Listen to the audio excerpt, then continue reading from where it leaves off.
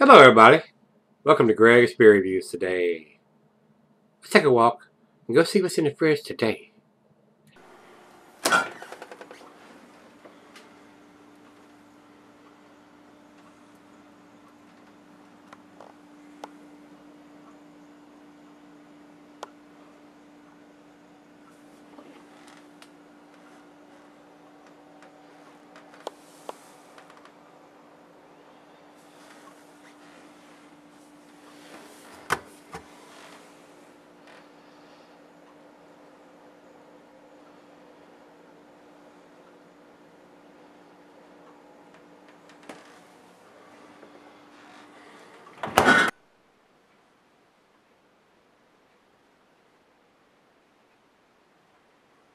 Hey everybody, thanks for stopping by Greg's Beer Reviews today. Today's beer comes from Anderson Valley. This is their Blood Orange Gose. Uh, and for you guys that don't know what that style is, I'll give you a quick description here. It says here, an old German style beer from Leipzig. Uh, Gose is an unfiltered wheat beer made with 50 to 60% malted wheat, which creates a cloudy yellow color and provides a refreshing crispness and twang. A Gose will have a low hop bitterness and a complementary dryness and spice from the use of ground coriander seeds and a sharpness from the addition of salt. Like Berlin, Berlin, Ber, Berliner wheat beers, a Gose will sometimes be laced with various flavors and colored syrups. This is to balance out the addition of the lactic acid that is added to the bowl. Somewhat recently, Gose has been a, has seen a mini revival with a handful of breweries bringing back the style in the Leipziger area and pubs like uh, I'm not even going to try to pronounce some of these German words. Uh, Gozen, Chinky. Uh, I just can't, just can't do it. Uh, just some of those words just look like they just don't even, the letters shouldn't even go together. don't have a lot of German in me, I don't guess. Uh, over to uh, the commercial description. Our Blood Orange Gose is a tart, refreshing wheat ale that is kettle soured with lactobacillus and brewed with sea salt and coriander. However, unlike traditional versions of the style, ours features liberal additions of blood oranges during fermentation. This imparts a tangy, citrusy note that, comp that complement the champagne-like flavors, creating a complex and sessionable ale perfect for any occasion. This is a fairly low ABV beer, guys. I mean, uh, very sessionable. 4.2% alcohol by volume. So you could have multiple uh, glasses of this stuff and not be too inebriated. Uh, 4.2 is probably one of the lower ABV beers that I've done. I may have I may have done a 3 3.8 percent or something uh, before, but it doesn't ring any bells. So when you once you start getting down around the 4 4.2, that is pretty low for for a beer. So uh, just about have this for breakfast and, and not know you had a beer. This is their Highway 128 session series. So, and I've done uh, quite a few Anderson Valley beers, and they're usually fairly tasty, guys. Uh, I'm a big fan of their beers. They do, and now they're doing uh, their beers in, in the cans too. Uh, and this one has a says 15225. So if I was guessing on that, I would think this is the 152nd day, I mean uh, the 225th day of 2015. So I don't know what the 220, 225th day of uh, 2015 would have been, but it's been several months ago. So uh, I seen this, I said, well, and I've done a couple of Gose beers here uh, over the last couple of months. So I said, oh, I'll pick this up and, and give it a shot. And, and since it had that earlier date, uh, I said, well, we might as well go ahead and get this out of the way, being a, that low of AB beer and being the uh, 225th day, and we're here at 300 and this is the 7th of December.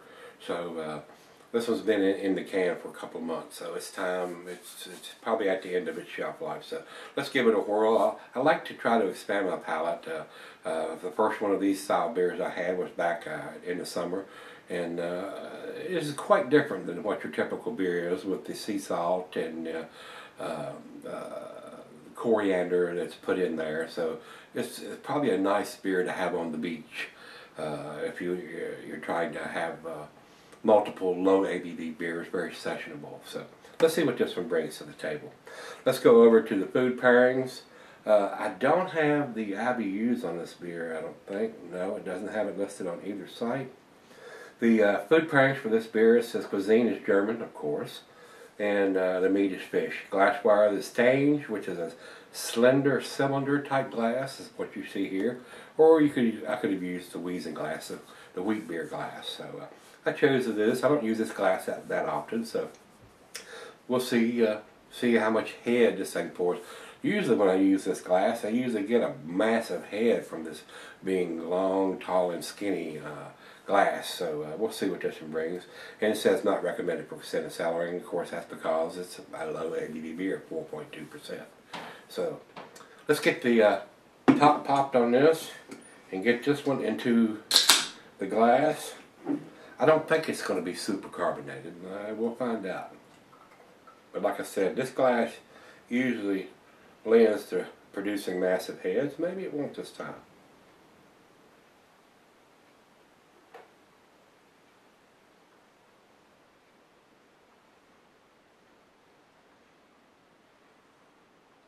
Looks like I have a speck of something in here. Let's get that out of there. Alright, uh, about two fingers of head on that pour. Over into the light, uh, it's a very uh, orangey color, uh, a light tangerine if you will. A lot of bubbles streaming up. It looks like it's fairly well carbonated. Good looking beer. Let's get a nose on it. Getting a little bit of the, the sea salt that they've used on here. A little bit of peppery spices from the coriander. And I am getting some citrusy notes from the blood oranges that they've used. So about what the description says that they've used in this beer, that's about what I'm getting on the nose. And like I said, I don't expect the head to stick around and it's going quickly. It's down to about a quarter finger of head there now. So let's give it a taste. Cheers.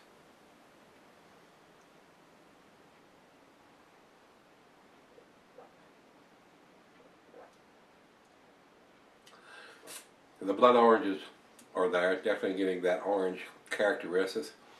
Definitely getting a strong tartness to it. A little bit of saltiness on the back end there. Finishes up very dry because of that salt. And just slight hints, but the coriander's not out overpowering or anything. It's just slightly there. The tartness and the oranges and the saltiness is, uh, is standing out more than anything else.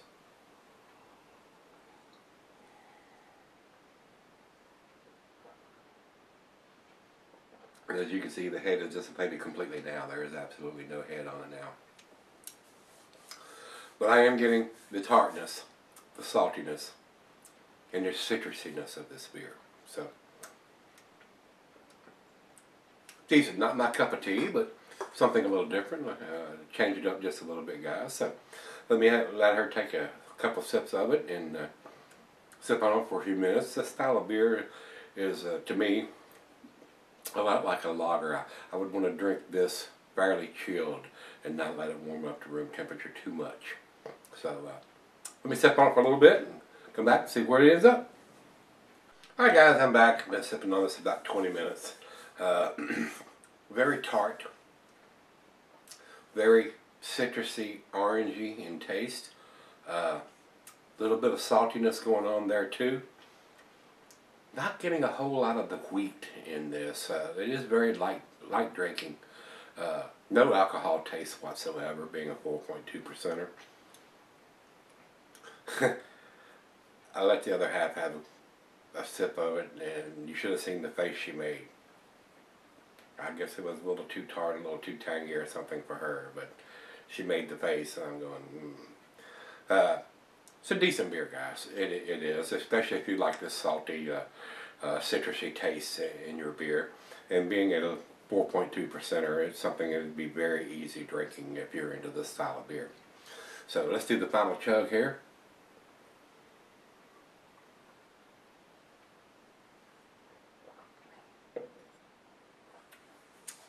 Tart, tangy, citrusy, a little bit of saltiness. Not getting a lot of the coriander, not very peppery. And that's about it, guys. Uh, very simple, uh, very, uh, very beach-like, summer-like, if you will. Something that you'd like to drink uh, uh, sitting on the beach, maybe, uh, for a low ABV beer.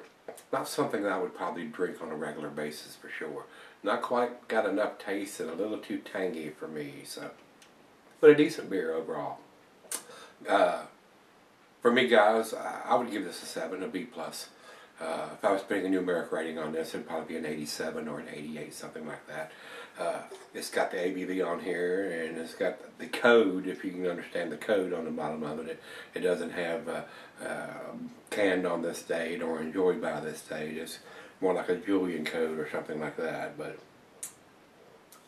decent. Uh, like I said, not something I would probably buy on a regular basis.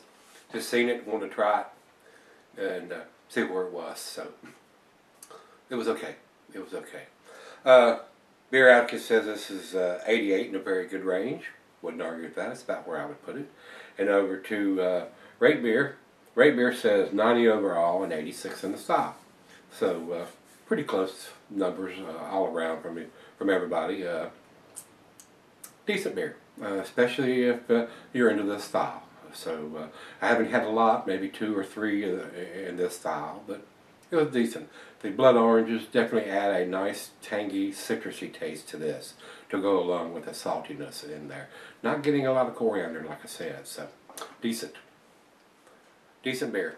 If you've had this one from Anderson Valley, their blood orange gose, uh, let me know what you think guys. Okay, come on back tomorrow. Let's see if we can find something with just a little more taste. I'll see you then.